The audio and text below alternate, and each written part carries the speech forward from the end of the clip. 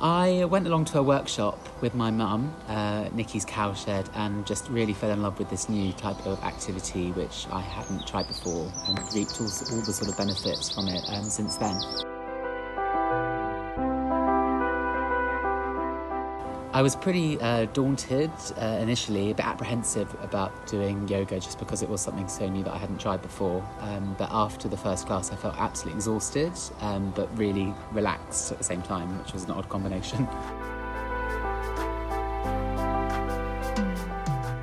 I would say um, I definitely feel stronger both physically but also mentally. So I kind of go about my professional and personal life just with a feeling of kind of calmness um, and determination, which I feel like I've definitely, I feel more in myself, it's more present than it was before I started doing yoga.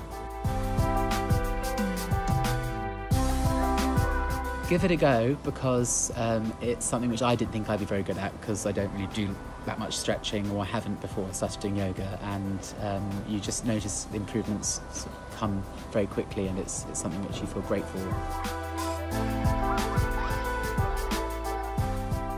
Uh, there's so many different classes on offer for every different uh, for different levels of, of ability. So just give it a go, and um, you won't regret it.